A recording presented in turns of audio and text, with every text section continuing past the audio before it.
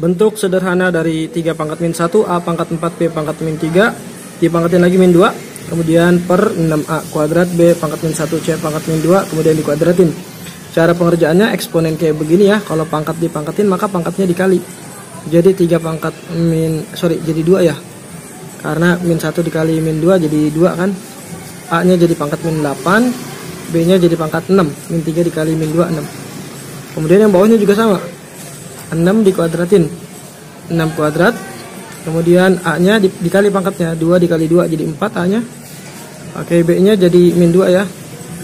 C nya jadi min 4 C nya jadi min 4 gitu ya. Kemudian kita hasilkan aja. 3 dikuadratin jadi 9 kan?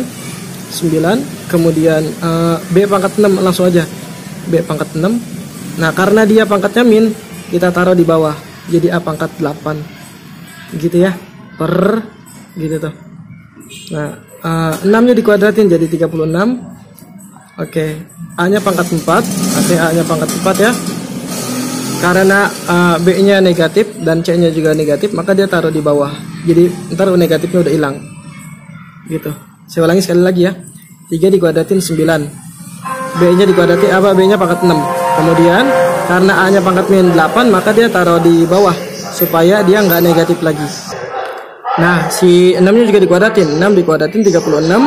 A pangkat 4 tetap. Nah, karena dia negatif nih, B kuadratnya negatif, C-nya juga negatif. Maka ketika taruh di bawah dia nggak negatif lagi. Nah, kalau udah kayak gini tinggal dekat kali dekat, jauh dikali jauh. Gitu ya. Jadi uh, sama dengan dekat kali dekat, jauh kali jauh. Nah, kalau jauh kali jauh ini nih. 9 B pangkat 6 C apa B pangkat 2 gitu ya kemudian C nya pangkat 4 per kan dekat kali dekat jauh kali jauh. Nah ini 9 B pangkat 6 dikali sama B kuadrat C pangkat 4 nah yang dekat dikali dekat. Nah ini dikali ke sini kan? 36 nya tetap. Gitu ya. Kemudian A pangkat 4 tetap gitu ya. Kemudian A pangkat 8 saya ulangi sekali lagi yang dekat dikali dekat yang jauh dikali yang jauh gitu tuh. 9B pangkat 6 B pangkat 2 C pangkat 4 tuh ya 36 A pangkat 4 A pangkat 8 nah gitu kan? Kalau udah seperti ini ya lanjut. Ini kita kecilin. Dibagi 9 jadi 1 dibagi 9 jadi 4 nah ini B nya jadi nambah. B pangkat 8 C pangkat 4 6 tambah 2 jadi 8 C pangkat 4 per ini 4 tetap A nya jadi 12 gitu ya.